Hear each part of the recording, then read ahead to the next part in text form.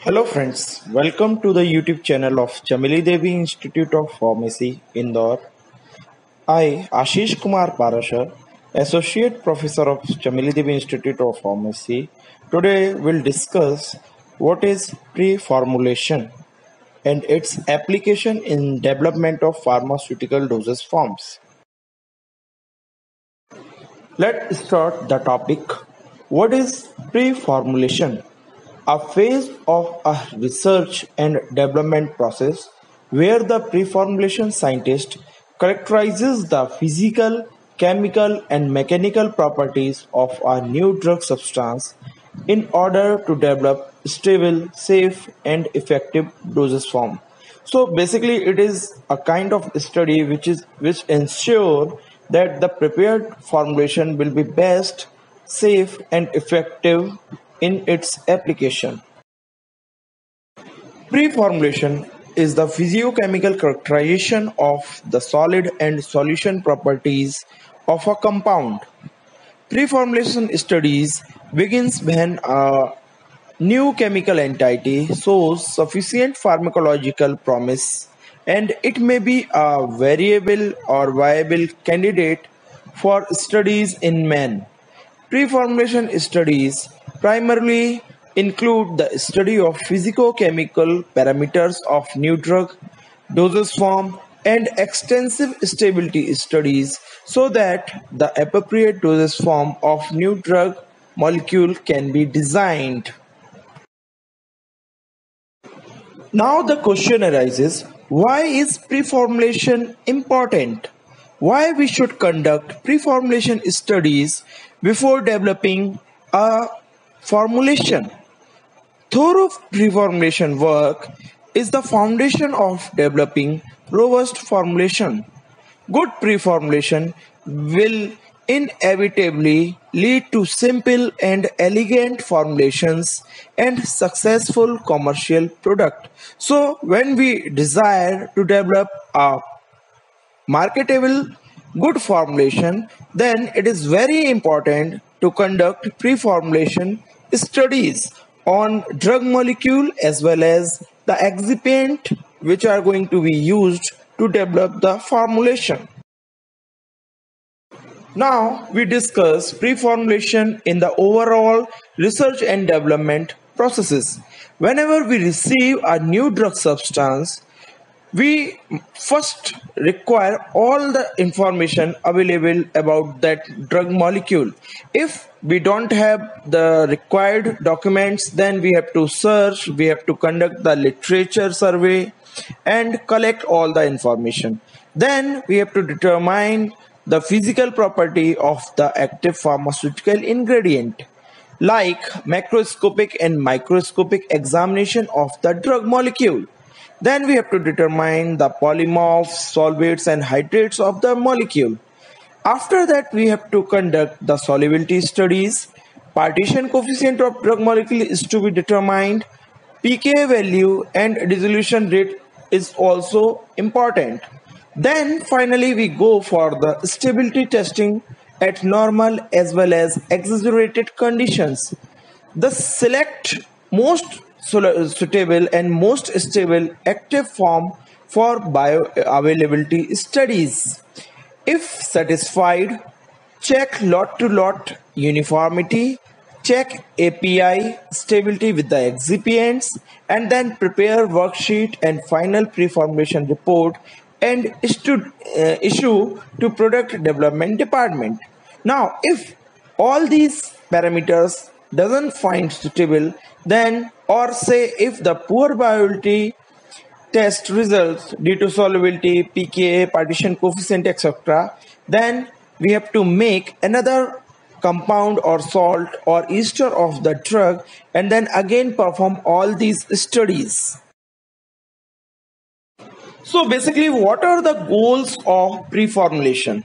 First, to establish necessary physicochemical parameters of new drug substance active pharmaceutical ingredient to establish the data on drug excipient compatibility and to determine its kinetic profile.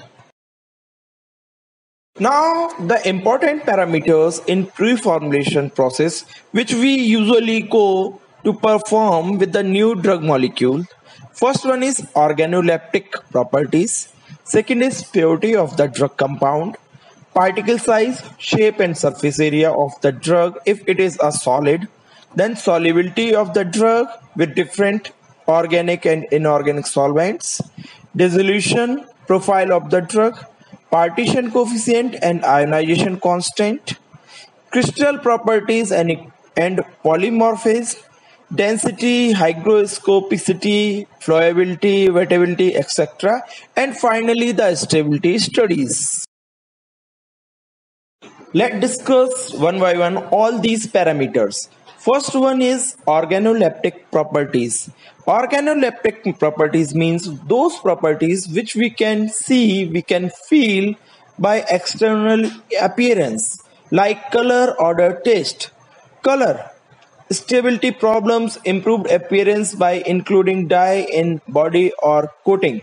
So color is an important parameter. Every drug, drug has its own color. Sometimes the color is unstable and it changes with the time so we can improve by adding dye or colors lakes in the drug taste taste is very important when the drug has to be administered orally so palatability is a problem we can solve by using flavors and excipients with the active drug odor odor or smell of the active product it can also indicate the degradation of the active pharmaceutical ingredient. Easy. For example, aspirin stable form of drug to be used. Flavor and excipients may be used to reduce or subside the bad odor of the active pharmaceutical ingredient. Terminology to describe organoleptic properties of powders. Color Color may of the powders may be off-white, cream yellow, shiny, tan, like this. If we talk about the odor, then pungent, sulfurous, fruity, aromatic, odorless. And in case of taste, taste can be classified as acidic, bitter, bland, intense, sweet, and tasteless. Second parameter is purity. Purity studies are essential for further studies to be carried out safely and thus avoiding toxicity and instability. Designed to estimate the levels of all known and significant impurities and contaminants in the drug substance under evaluation. A study performed in an analytical research and development group, the techniques used for characterizing the purity of a drug are thin layer chromatography, that is TLC, high performance liquid chromatography, HPLC, gas chromatography, GC, and paper chromatography. HPLC is extensively used nowadays. It indicates impurity, second, and homogeneity index, HI. Differential scanning calorimetry, powder, uh, power X-ray diffraction, thermogravimetric analysis and melting point by hot stage microscopy are the other techniques to determine the purity of the drug compound. Next property is particle size, shape and surface area. Various chemical and physical properties of drug are affected by particle size distribution, and shape. Size and shape also affect the flow property, mixing efficiency, dissolution, and other biopharmaceutical behavior of the drug. Fine material are relatively more open to attack from atmospheric oxygen, humidity, that than of coarse material.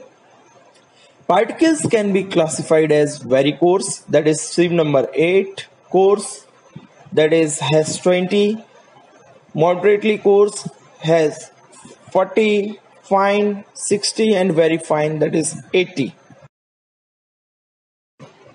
friends we will discuss all the other properties in detail in the subsequent videos. Thank you for watching this video. This was a brief introduction of pre-formulation studies. Thank you very much.